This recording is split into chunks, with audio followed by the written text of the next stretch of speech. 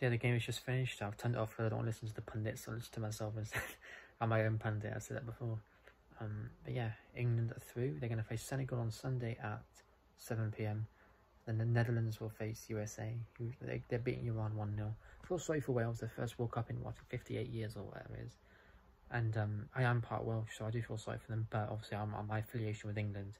I mean, I just don't have it. Don't have it all Wales. In a way, I have it more with India. If India were in it, if it was India versus Wales, I'll support India more than Wales. I have, I have more of an affiliation with India, and they're not even in the World Cup.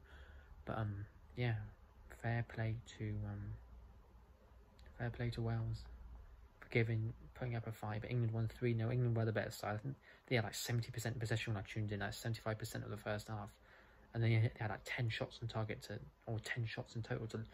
Um, Wales is like one or two, so I think England were the better team. They did they dominate possession, much better than USA game. I caught one goal.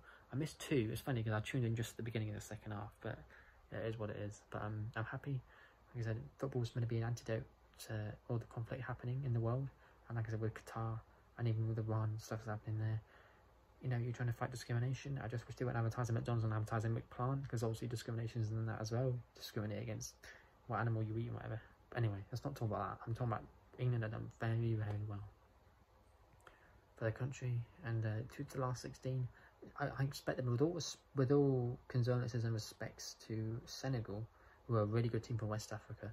I think England are going to go through and face France or Australia. I think, but France or Australia, France or Argentina. Australia in the mix as well, but I think it's going to be France or Argentina in the quarterfinal potentially. That could be Messi versus England, isn't it? Home is Argentina, isn't it? France, I don't know. Whatever, in it. Should get a faded haircut like Mbappe, but he's got quite, curly hair, so I've got different hair types. That's why he has a really tight haircut. Because I don't know, whatever. Anyway, but yeah, well done England, done your nation proud, and I just can't wait till Sunday, Senegal. Bring it on, baby.